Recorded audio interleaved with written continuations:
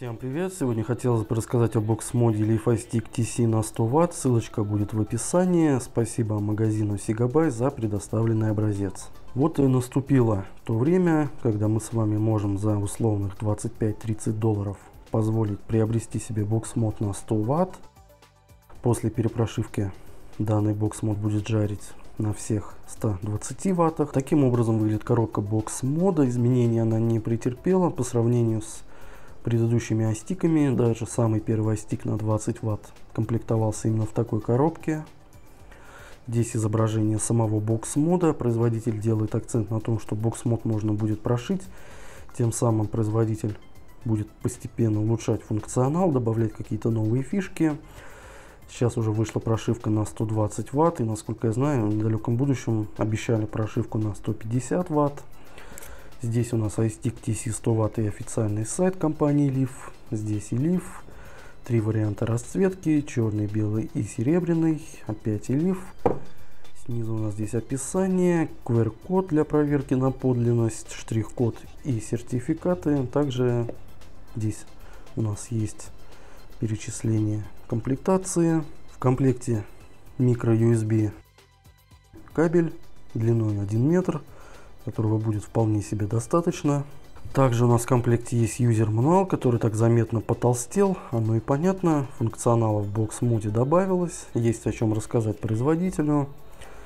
Здесь в том числе и русский язык. Сам бокс-мод выглядит таким образом. По сравнению с предыдущей версией на 100 Вт бокс-мод стал немного компактнее. Хотя мне он больше напоминает iStick на 50 Вт, возможно за счет вот этих скругленных крышек боковых и вот этого дисплея. Напоминает он мне стик на 50 ватт. Сравним наш бокс-мод с бокс-модом от компании Elephone LStar 80. Это бокс-мод на один аккумулятор и разницы огромной такой я не вижу. Большой разницы между ними нету. Это у нас мех-мод VMW Sabom от компании Nivape. Это точная копия iStick на 20 ватт. Поэтому представим, что это и есть iStick на 20 ватт. И вот такая разница между этими двумя модами. В плане тактильных ощущений бокс мод очень понравился. Он полностью скрывается в руке. О кнопке мы поговорим чуть позже. Модом вполне реально пользоваться на постоянку, на каждый день. Высота бокс мода 94 мм, ширина 52 мм и толщина 23 мм. Без аккумуляторов бокс мод весит 183,5 грамма и с двумя аккумуляторами формата 18650 бокс мод у нас будет весить ровно 272 грамма. Таким образом бокс мод выглядит с дрипкой Петри, клон с фастека. Накрутим дрипочку Кеннеди также накрутим обслуживаемый атомайзер SXK Wine. Характеристики данного бокс мода я выведу на экран. Кому интересно, можно поставить на паузу. Данный бокс мод выполнен из алюминия. Присутствуют различные защиты от короткого замыкания, переразряда, перезаряда, от низкого сопротивления, от перегрева платы и так далее. Сверху у нас площадка под атомайзеры, 510 стальной коннектор, подпружиненный латунный пин. Также здесь механическая блокировка кнопки. Переключается эта блокировка с таким значительным усилием. То есть сама по себе в сумке или в кармане она не переключится. Что касается проблемы с коннектором, то она есть. К примеру, Петри у меня не шатается, накручивается до конца и сидит здесь вполне себе нормально. Но если мы возьмем дрипочку Кеннеди, что она здесь ходит, хотя закрутил я ее до самого конца. Тем не менее, небольшой такой люфт имеется. Решить данную проблему можно подбором атомайзера. Подбираете то, что здесь более-менее нормально сидит. Снизу у нас газотворное отверстие и микро-USB для подзарядки и перепрошивки устройства. Есть возможность зарядки аккумуляторов по микро-USB плюс режим Pastro во время зарядки мы можем парить. Также через микро-USB разъем BoxMod можно прошить. Посмотрим, что у нас на лицевой стороне. Здесь у нас кнопочки плюс и минус. Также кнопка перехода в режим температурного контроля, она же кнопка меню. С обратной же стороны мы видим вентиляционное отверстие, надпись Leaf. iStick TC100 В. И теперь поговорим о самом вкусном, а именно о кнопке. Реализация кнопки здесь новая. Вот сама кнопка Такая система ранее использовалась в бокс-моде X-Cube по-моему, еще в каком-то. Сейчас у меня стоит блокировка. Суть здесь в том, что когда вы держите бокс-мод в руке и сдавливаете, срабатывает кнопка. Также здесь внутри мы можем видеть отсек под аккумулятор 18650. Контактная группа у нас латунь, нижний минусовой контакт подпружиненный. Здесь у нас два винтика для того, чтобы разобрать бокс-мод. Крышка держится на магнитах. Два магнита на самой крышке и два магнита на самом бокс-моде. Так бокс-мод выглядит с полностью снятыми крышками. Возможно работа бокс-мода на одном аккумуляторе формата 18650.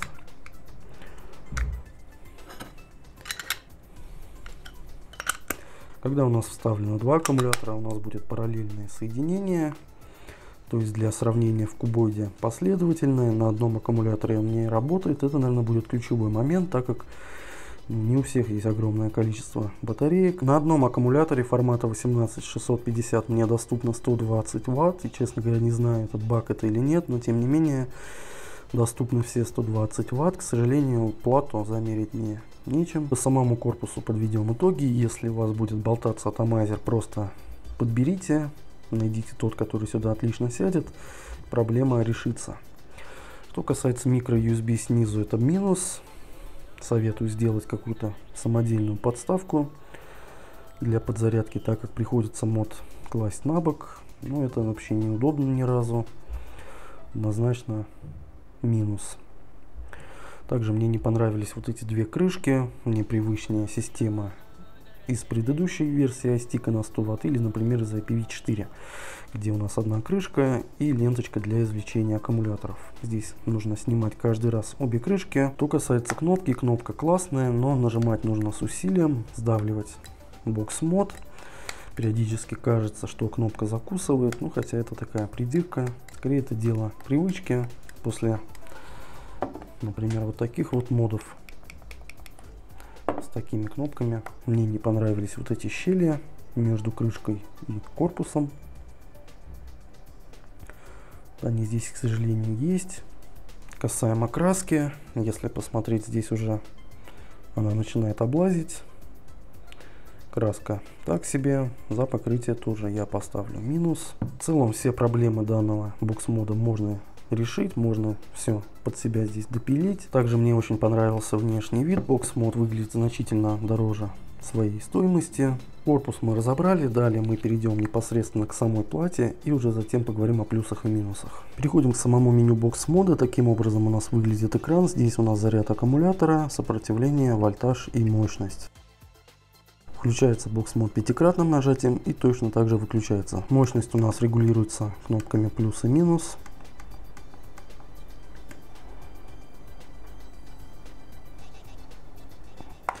Видим такой счетчик, отчет времени затяжки. Так вот, просто чтобы вы знали, здесь стоит ограничение 10 секунд, то есть это отсечка. Максимальное время затяжки здесь составляет 10 секунд. Переключаются сами режимы кнопочкой меню. Зажимаем ее и удерживаем. Это режим байпас, режим мехмода, режим никеля, температурный контроль на никеле, на титане и на нержавейке. Также здесь есть пресеты M1, M2 и M3. В режиме температурного контроля мы можем с вами зафиксировать сопротивление. Нажимаем кнопочку Fire и кнопочку плюс.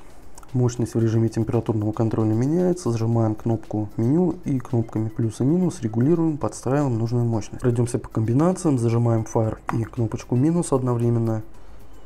Попадаем в стелс режим во время парения у нас на экране ничего отображаться не будет. Также обратно мы его выключаем. Кнопочками плюс и минус можно бокс мод заблокировать, точнее заблокировать переключение мощности. Из выключенного состояния нажимаем кнопочки плюс и минус и тем самым у нас переворачивается экран. Из выключенного состояния нажимаем кнопочку фары, кнопочку плюс.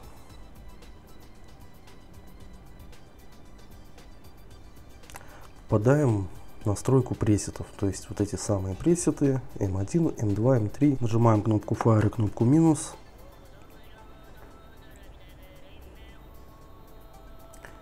И видим напряжение аккумулятора. Также из выключенного состояния 10 раз нажимаем на кнопку Fire. Видим температуру платы. И если из выключенного состояния нажать кнопку Fire 20 раз, мы увидим версию прошивки. Я уже прошился, версия 1.10, изначально версия была 1.0, поэтому однозначно рекомендую перепрошиться. Почему? Объясню чуть позже. Процедура прошивки все та же. Подключаем по USB кабелю BoxMod к вашему компьютеру. Ссылку на прошивку я оставлю в описании. Скачиваем архив, в котором будет программа и две прошивки. Открываем программу, нажимаем Update и прошиваемся. После перепрошивки, во-первых, BoxMod будет выдавать 120 Вт, а не 100 Вт, как из коробки. И второй момент, это работа термоконтроля, температурного контроля на нержавейке. Сейчас я поставлю фотографию, как он работал на заводской прошивке, то есть тест на сжигание сухой ваты не проходил, поэтому я обновился и провел этот тест еще раз. Также я поставлю фотографию, как ведет себя температурный контроль на этой прошивке, поэтому однозначно прошиваемся, прошивка хорошая. В дальнейшем, думаю, будут еще прошивки, насколько я знаю, компания Leaf обещала прошивку на 150 ватт. Что касается никеля, титана. Тестировал эти металлы я на испарителях от iJust 2. Проблем я никаких не выявил. Ну и быстренько пробежимся по плюсам и минусам. Первый плюс хотелось бы поставить за цену. В магазине Сигабай данный боксмонт стоит, по-моему, 29 или 30 долларов. Второе, это неплохое качество сборки. Третье, удобная кнопка. Четвертый плюс за возможность прошивки. Увидели мы, для чего это вообще нужно. Пятый плюс за температурный контроль, в том числе и на нержавейке, плюс пресеты. Можно парить на самых разнообразных проволоках. Следующий шестой плюс за постру, возможность парить во время зарядки. Седьмой плюс за приятный дизайн, выглядит значительно дороже боксмод. Ну и еще пару плюсиков за размер и вес. Еще один плюс за то, что боксмод у нас работает на одном аккумуляторе в том числе. Из минусов жалобы на коннектор. В новых партиях, я насколько знаю, эту проблему исправили. Минус за расположение микро-USB порта, минус за вот эти зазоры между крышкой и корпусом и за покрытие. Какие по данному бокс-моду я могу сделать выводы? Однозначно покупать самый дешевый мод, наверное, с такими характеристиками. Кубот, насколько я знаю, дороже. Если у вас стоит выбор, какой бокс мод взять, я не знаю, там, например, Evic VTC Mini или iStick TC 100 Вт, однозначно берите этот.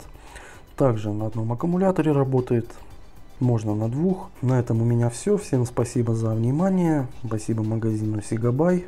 Пишите комментарии, делитесь впечатлениями о данном бокс моде. Пока-пока.